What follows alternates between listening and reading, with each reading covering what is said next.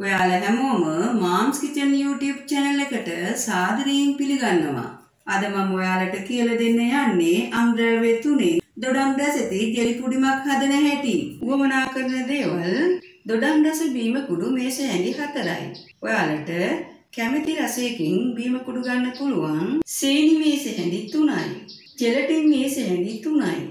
වතුර පීරිසිකෝප්ප දෙකහමාරයි. මුලින්ම වතුර පීරිස්කෝප්ප දෙකහමාරෙන් වතුර පීරිස්කෝප්ප භාගයක් අරගෙන ජෙලටින් වලට දාගෙන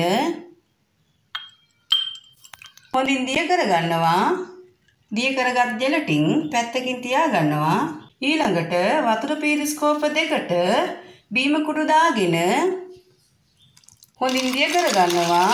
හදාගත් බීම පැත්තකින් තියාගන්නවා. ජෙලි පුඩිම හදාගන්න දිය කරගත් බීම දාගත් භාජනය ගින්දර සාමාන්‍ය ප්‍රමාණයට දාගෙන ලිපේ තියාගත්තා.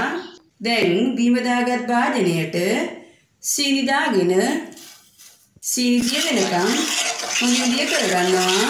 සීනි දිය වෙලා මේ වගේ උතුරගෙන එනකොට දිය කරගත් ජෙලටින් දාගෙන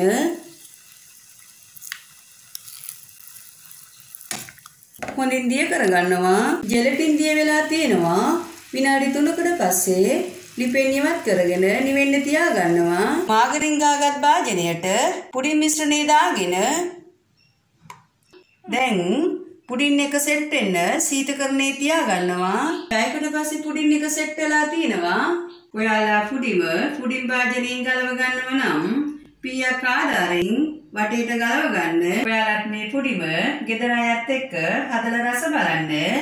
රසම රසයි. ඔයාලා මගේ රෙසිපි එකට කැමති නම් ලයික් කරන්න, ෂෙයා කරන්න, කමෙන්ට් කරන්න.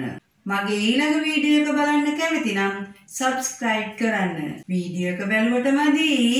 සබ්ස්ක්‍රයිබ් කරන්න.